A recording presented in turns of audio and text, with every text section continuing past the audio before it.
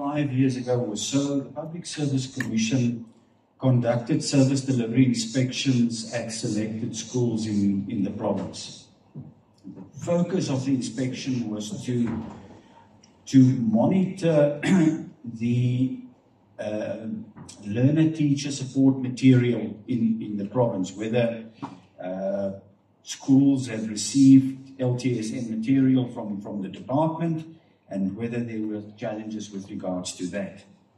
We also did a walkabout at, at the schools, you know, looked at the ablution facilities, walked on the terrain, etc., etc. And then after, after our inspections, we then had meetings with the principals to take them through our observations and, and uh, to get feedback from them. So at a specific school in, in, in the Mangaung area, I had a meeting with the principal afterwards.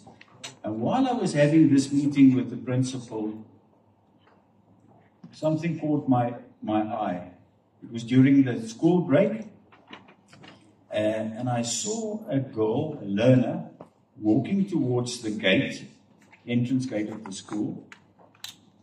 And she was having a chat with a gentleman, and there was a transaction taking place there. And my observation was, well, this can only be a drug, drug transaction.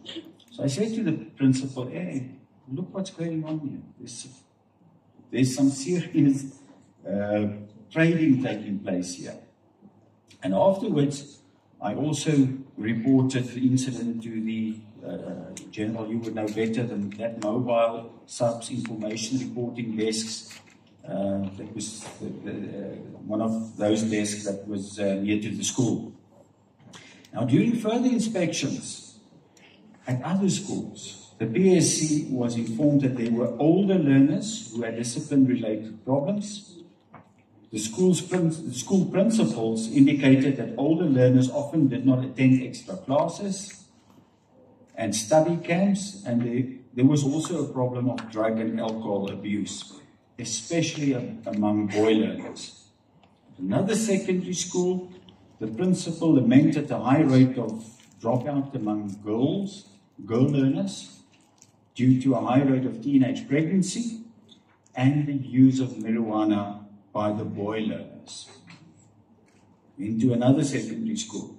And there it was pointed out that there were teenage pregnancy and drug challenges at the school. The school principal indicated